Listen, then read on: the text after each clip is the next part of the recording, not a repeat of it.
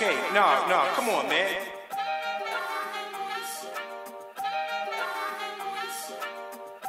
Bro, we got the fucking sauce, boy.